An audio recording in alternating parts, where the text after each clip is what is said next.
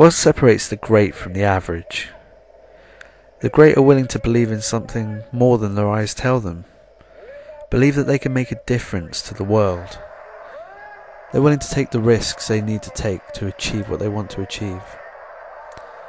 If you can make one heap of all your winnings and risk it on one purchase of a shop, inherit staff both stale and unwilling, and never lose your cool or blow your top, if you stay cool as reps pedal and bluster, with sixty minutes worth of smiles feigned, to you will go the spoils, to Lynn the duster, and, which is more, success will be ingrained. It can be difficult when making a documentary to find people willing to be filmed. In this case, they were queuing up to tell the world of their affection for Clara Kureen. On this, November the 24th, 2010, the day of her 60th birthday. After spending the first two days of her life in Egypt, the artist formerly known as Artemis moved between Greece, various parts of Africa, and various parts of Europe before settling on the Isle of Wight. Here's what a few people think of her contributions since then. Hello, Mum. Happy birthday.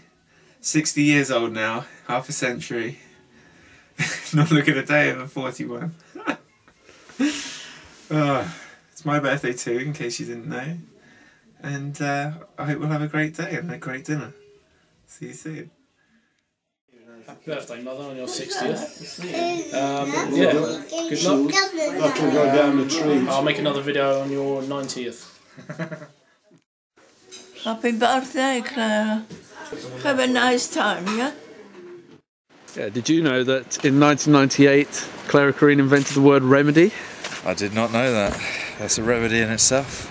It's a beautiful one. It's a it's a story and a half. What what are your main uh, memories of the lady? Wow. She's always been kind, taking me in like a stray dog, feeding me when my friend doesn't. You know, she's just an all-round decent girl. Okay. Is it when she was a little girl? Was there anything funny that happened that she did? Not really. Always walk and never walk straight like that. Always walk with the top.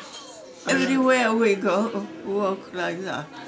Everybody said to me, come ballerina. And I got to walk. Damn, another loss. What a loser I've been. Clara Kureen was never a loser. She was a winner in life and at the gambling circuit. See, while Charles Kureen pumped at least £40 of his money into horse racing a day, she would slowly hide these pound coins away, and, and the dwindling amounts that he lost were proof that she had become the perfect wife.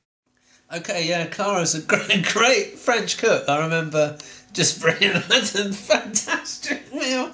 Really good tennis coach, amazing, and a, a really good swimmer, and a really good singer songwriter as well.